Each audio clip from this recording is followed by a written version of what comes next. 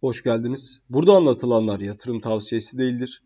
Kimseye al ya da sat demiyoruz. Karnınızdan da zararınızdan da sorumlusunuz.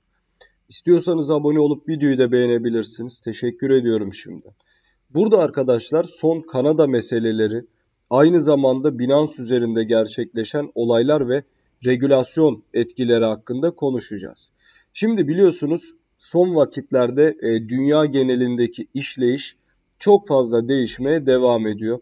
E, bundan hem kripto borsaları hem de dünya geneli farklı anlamlarda nasibini alıyor diyebiliriz. Hem gerçekten hem de ironik olarak.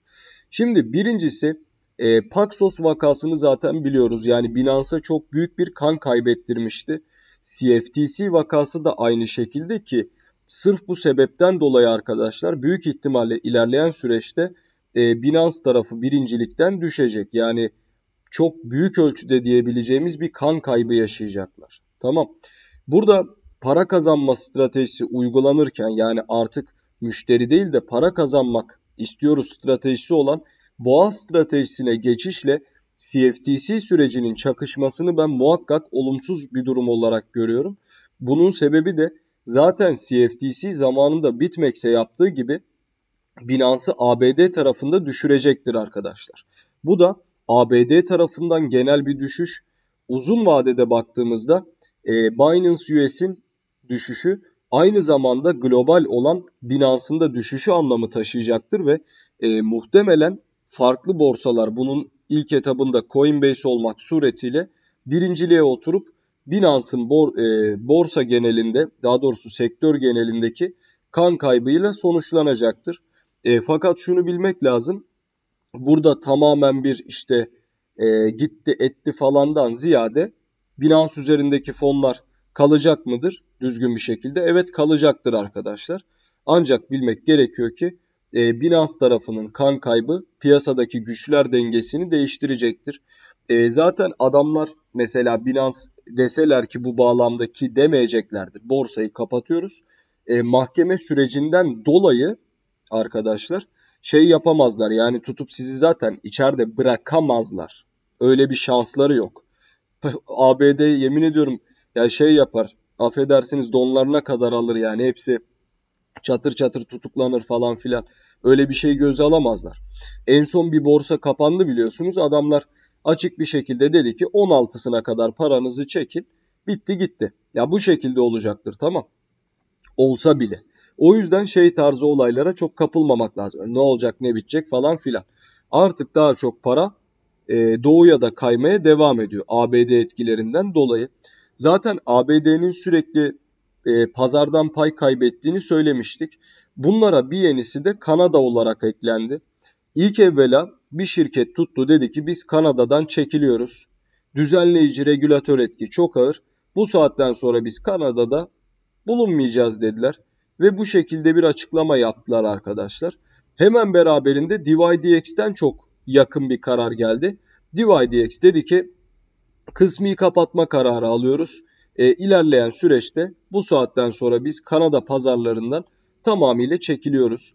Hemen ardından şu anda aynı durum Paxos'tan geldi ve Paxos tarafının da Kanada pazarından çekildiğini görebiliyoruz. Kanada pazarından çekilen taraflar ilerleyen süreçte ABD pazarlarından çekilmeye de gidebilirler. Fakat bunun için piyasanın ekserisi neyi bekliyor biliyor musunuz? Çin'i bekliyor Çin'i. Tamam. Çin tarafı bir açılım gerçekleşirse şu dakika ABD arkadaşlar öyle bir geri vitesi yapar ki bakın öyle bir geri vitesi yapar ki size anlatamam. Mesela şu dakika Çin desin ki ki bu olacak. Bunu kesinlikle söyleyebilirim ilerleyen süreçte. Desin ki tamam pazarlarımızı yeniden açtık. Kripto para alım satımları yapılabilir. Borsalar var olabilir. Yani meşruiyetini tekrar kabul ettik. Tamam mı?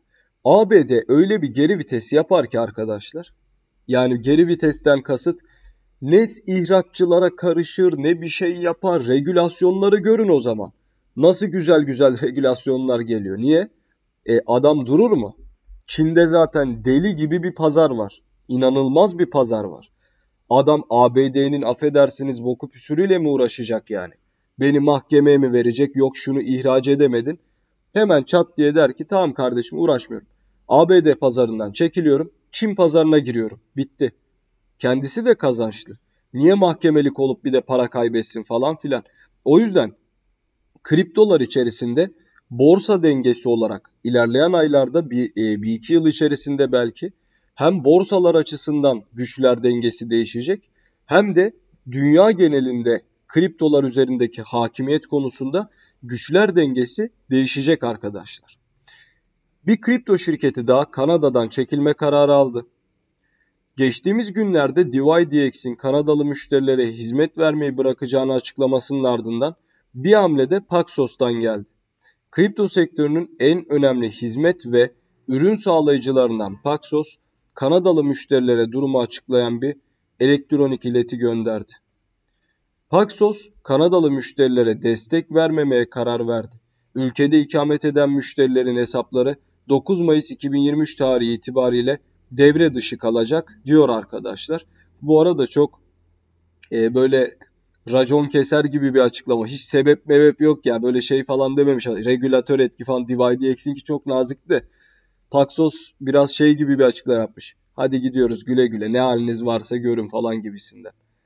Resmi kanallardan kararın nedeni açıklanmasa da DYDX'in kendi durumu için yaptığı açıklama Paxos'a referans olabilir. Tabii ki yani e, şey regülasyondan dolayı onu çok irdelemeye gerekmiyor. Merkeziyetsiz kripto ticaret platformu Kanada hükümetinin uyguladığı düzenleyici kurallar sebebiyle müşterilerin uygulamaya erişimini engelleme kararı aldı.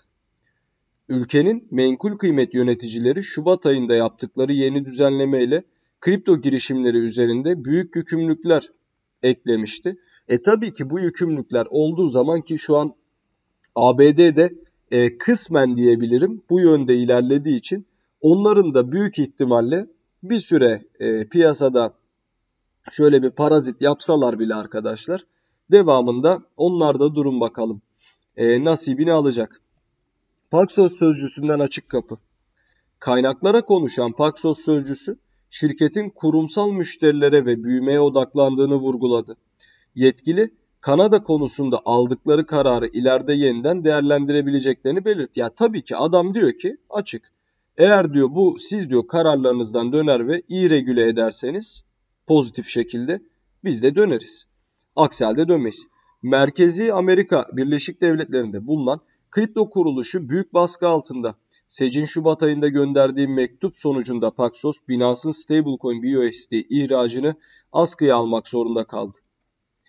İzlediğiniz için teşekkür ediyorum. Abone olup videoyu da beğenebilirsiniz. Bol kazançlar dilerim izleyen herkese. Hoşçakalın.